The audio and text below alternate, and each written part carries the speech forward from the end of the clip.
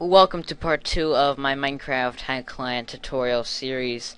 Uh, today I'm going to show you guys how to make your custom GUI a bit better. If you missed the tutorial number 1, uh, there will be a link to the description to the last tutorial with drop boxes and everything you need to uh, get set up to this point. Now there probably will not be that many drop boxes anymore uh, from this point on. So make sure you get that Dropbox in there as soon as possible. Now that we have uh, everything done, you guys should know uh, public static strings and ints. We learned that yesterday, or whatever day you learned it. And we learned that you can draw GUIs uh, without actually going to GUI in game.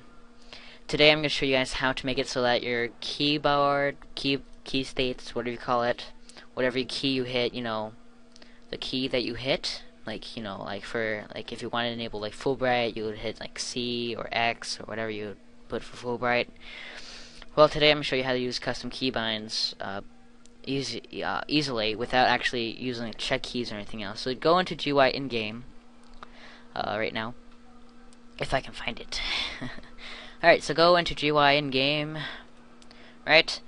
As you can see I don't have check key enabled or I don't have check keys anywhere Right, so we're going to scroll down until we find this uh, little big huge thing right here.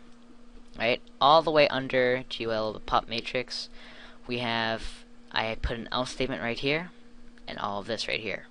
Right? So I don't have check keys enabled, but I'm actually using keys to enable something. So how to use it. Um, basically, all you have to do is just use it the same way you always did for check keys, but you're just going to call it a little bit differently all I do is put if keyboard dot uh, keyboard dot is key down right? Right? And then I'm going to put keyboard dot key underscore. And I'm going to use like I don't know X for uh, for just to enable a hack like X-ray or something. I don't know Split Fullbright for right now.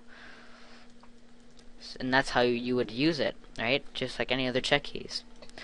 Um, so I hope this tutorial helped. Uh, this is a really quick tutorial, only like, I don't know, like two minutes long.